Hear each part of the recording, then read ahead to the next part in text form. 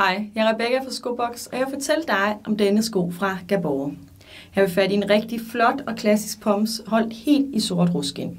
Den har en spids snude her, god fast halekappe, og en blokhale er ret nem at gå på.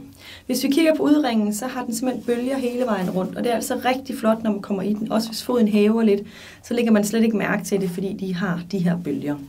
Sålen ned under gummisålen meget blød og fleksibel, så den er altså rigtig skøn at have på.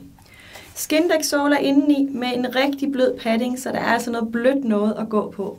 Og så har den VDG, det vil sige lige her, der rummer den rigtig godt. Så har man lidt bred forfod, så selvom den er spids, så har den altså en god bredde. God idé at imprænere skoen indenbrug med en god ruskinsimprænering, og så en gang imellem give den sort ruskins opfrisker, så den bliver ved med at være plejet i skinnen og bliver ved med at være flot sort. Har du lyst til at vide mere om skoen, så spørg mig eller kig forbi.